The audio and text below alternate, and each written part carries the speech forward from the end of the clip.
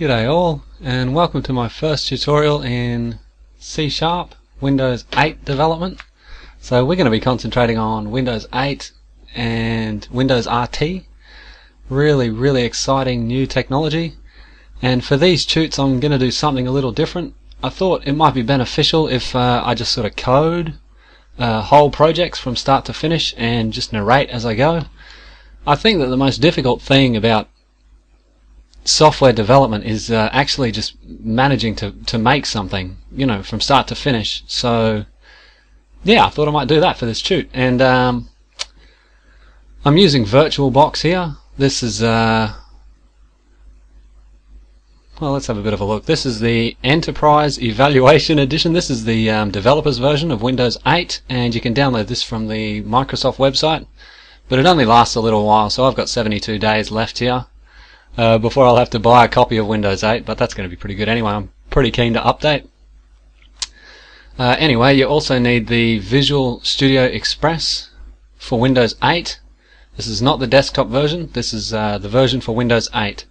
And the desktop version you can run in Windows 7, but uh, the Windows 8 version you do need Windows 8. So this is for making your um, Metro style apps, or whatever they call them nowadays. I think they've steered away from the term Metro, but yeah, the the desktop version is, is different from the version that we're going to be using here. So this is really, really uh, big, big update, and uh, I'm actually really, really impressed by the things that have happened in the new version of uh, Visual Studio. But we'll go through them as we uh, come up against them.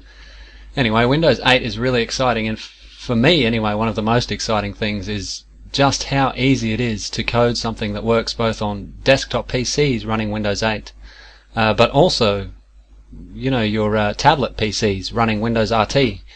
It's basically just a few clicks and you can compile you know something that runs on these tablet computers just as well as it runs on the desktop PCs. So that's what we're going to be doing. I thought maybe for the first project we'd start out nice and simple and just make a basic calculator.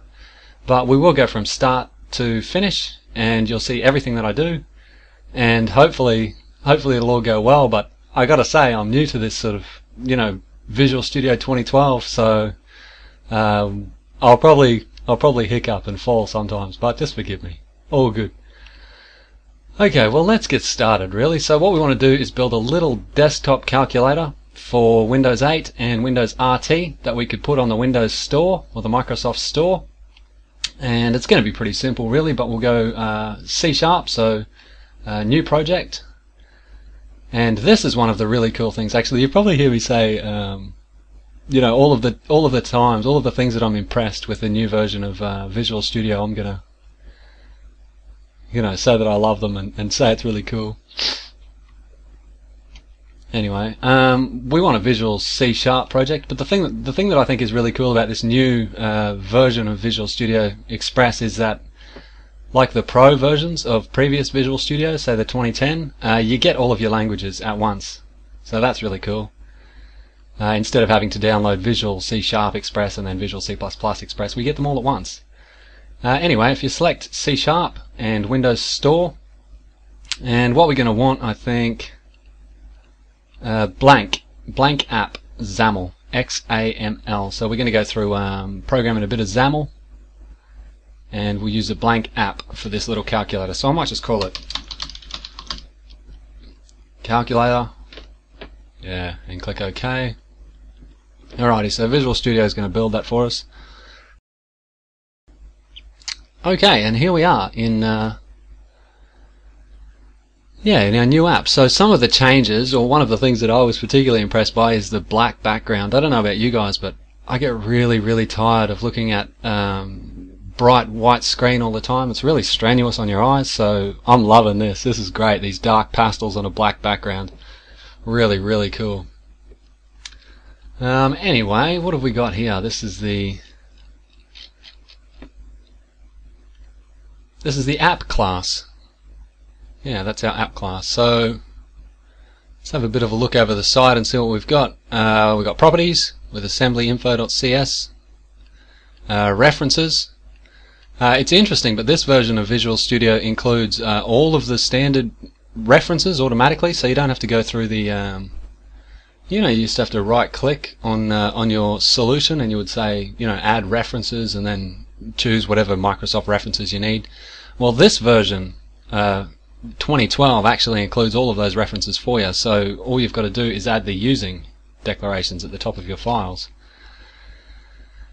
Anyway, that's references. So assets, what have we got for assets? So there's a few logos and things. So these are the sorts of things that flash up on the screen when you run your app.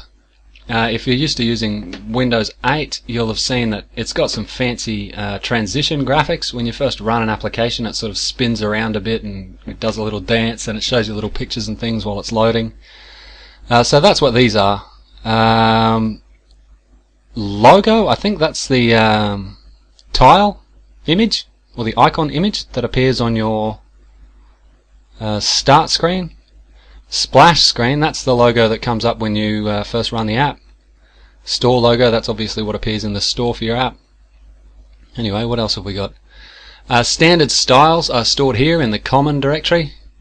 So that's a XAML file. We're going to go into XAML a lot, I think, but uh, it's it's basically the uh, the new way of specifying um, styles and uh, what what what would you say? It's uh, it's it's the form designer. The form designer now is is uh, this new XML style language called XAML. It's really really cool too.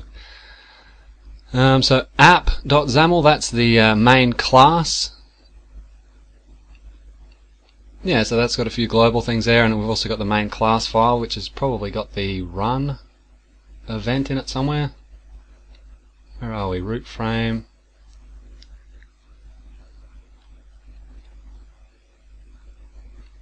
Yeah, that'll be it there. So navigate to the main page. So main page is actually the first XAML page of our uh, app.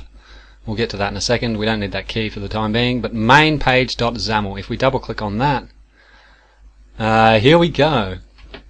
Okay, so this is the new Windows Form Designer basically, and this one is just a thousand, a thousand percent better uh, than the old Windows Form Designer. I'm was a big fan of the original Windows Form Designer, but this is so much easier.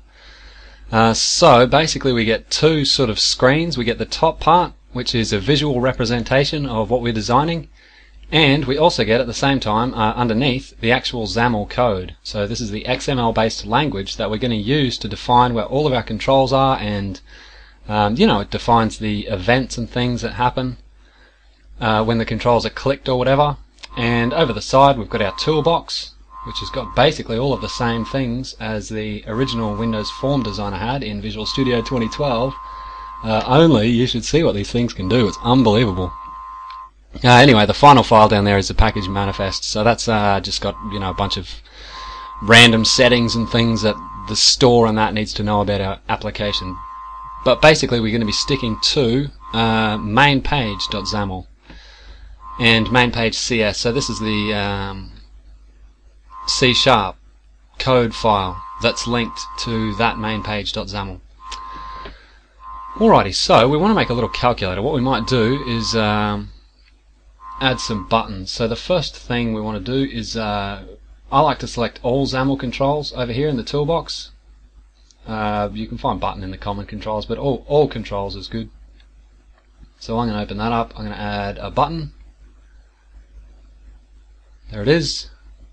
Just resize it a bit bigger. And oh, you can zoom in and out too. So just hold down Control and scroll your mouse, and you can zoom in and out of the uh, form designer. Yeah, you couldn't do that in Visual Studio 20, 2010. Uh, anyway, those graphics are way too small, but as soon as you put down a, um, a control, you'll see the uh, code for it appear in the uh, actual XAML code editor. So we're going to make a few of these buttons, but I might just set this one here up to be uh, exactly the way that I want it. So where is the properties of this thing? Um,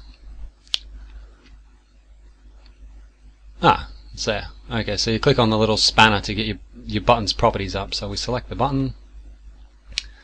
Uh, no name is good. Appearance is pretty good. What I want to do is actually change the font size. So where's that going to be? Brush. No. No. Text, maybe? Yeah, there it is. So 14.67, that's nowhere near big enough. I like just great big graphics. Yeah, that's pretty good. Actually, you know what, I might go even further. We'll go to 48. I might type a 0 on there. Oops. Put an extra enter symbol in.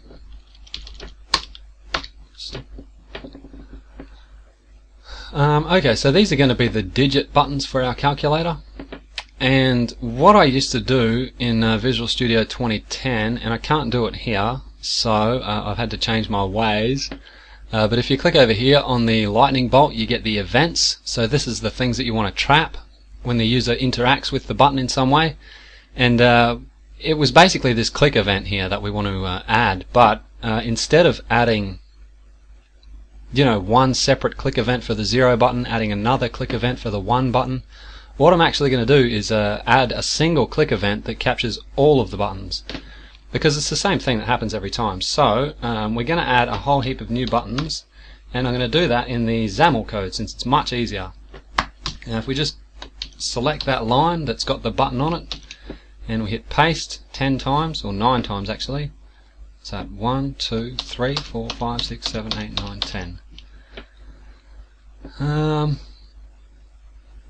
okay, so now we've got 10 buttons uh, all on top of each other and they're right there. They've all got 0 at the moment, so that's the content attribute right here in XAML. So if you select that and we change it to the other digits, uh, there we go. Now we've got 10 buttons and they've all got different digits on them and we want also to change the names of them. So I might just come back here to the start and say name equals uh, btn 0 okay so I'm going to call mine um, each of my buttons you know btn and then something 0 I might actually just copy that and paste and paste and paste, paste, paste, paste, paste, paste, and call that one. 1, 2, 3, 4, 5, 6, 7, 8, and 9. Alrighty folks, so I've got 10 buttons, uh, they've each got a digit written on them and they're each called BTN 0 through to uh, 9. At the moment they're all on top of each other, so let me just move this down a bit and we'll shift them around a bit so that they're not on top of each other. Whoa, zoomed in too much. Okay, that's the 9, that's the 8, that's the 7, 6, 5, 4, 3, 2, 1, and the 0. Okay, I might just put them down in the corner. Uh, if you've ever looked at a calculator, they seem to do something like this. Well, uh, put the nine digits all in a, a little grid, a little 3x3 grid, and we'll have the zero digit to the bottom left. Just like that. Like that. Five. What's next? Six. And seven. And eight and 9. Okay, that's pretty good. So the next thing that we've got to do is actually add an event that reads um, the digit that the user has clicked. So when, when the user clicks or, or pushes with their finger or presses with their finger on one of these digits here, we want actually to capture that. Uh, I'm going to add a text block right here to stretch it out a bit and we'll change the font size if I can figure out where it is. I might actually call this txt output as well. Change the name to txt output and the font size will make 48. Good stuff. I might change the contents too. We don't need anything in there. Yeah, I'm a bit confused over what which item's text is called text and which items like the buttons have their text called content. Yeah, I'm a bit confused. I think I'll get used to it, but it, they used to always be called text in Visual Studio 2010, but seems to be changed. Anyway, basically, when the user clicks on one of these digit buttons, what we want to happen for this first little chute is, um, oh, I think it's frozen. No, it's all good. Uh, we want the digit to go into this text box here so that they can type out a number. And I think we'll probably call that a day after that, but let's see how we do that. So, uh, what I used to do is uh, just type an event into here on the click, whatever I wanted to say, something like BTN digit click, and then I would select this one and paste the same event in there, then I'd select this one and paste the same event in there, but the, the problem with doing that in Visual Studio 2012 is that each time you paste an event into this um, event handler just here in the properties box, it takes you to the code. Uh, so that's no good. So what I might do is just add one event and then we'll copy and paste the rest in XAML. So I think it, it's it's really set up to use your, both your visual side and your XAML side at once. And uh, I'm loving it. I think it's much easier. Anyway, BTN digit click is the name of my event. And there we go. So Visual Studio writes that event handler for you and it takes you straight there in the code, which is pretty cool so long as you don't want to do a whole bunch of them at once. I'm just going to select that and hit Control C for copy. Then we come back to XAML and instead of selecting this button here and pasting that event that I just copied into click, uh, we don't want to do that because that's going to take us straight to code. What we want to do is uh, come to our XAML once again for the buttons and we'll see somewhere this one. Okay, so that's the uh, click event that Visual Studio attached to the zero button. We want to copy that and paste it into each of these other digits. It's a second. Get out of here.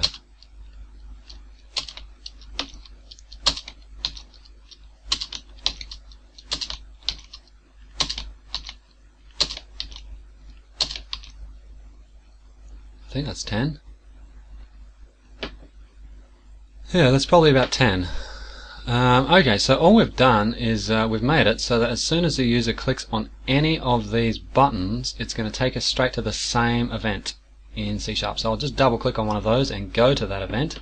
Uh, this is the one here. So what we want to say is txt output dot text plus equals um,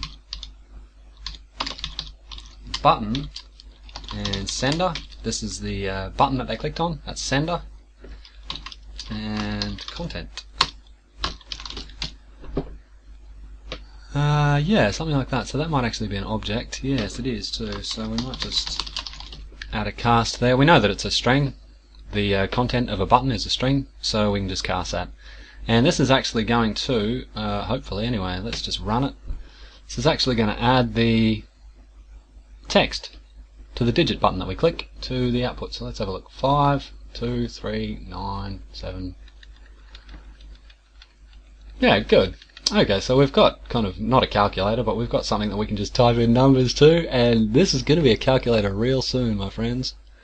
Anyway, to close an application, it's pretty weird, but you grab the top of it and drag it down to the bottom of the screen. See you later, bro. Okay, so that's uh, just a little adventure into C Sharp. Hopefully next time we can go a bit further with this calculator and uh, maybe in, you know, three chutes or so we can get through the entire app and uh, move on to something a little more exciting. But this is, you know, a really, really cool IDE and uh, I hope this sort of tutorial is beneficial to folks and uh, thank you very much for listening. See ya.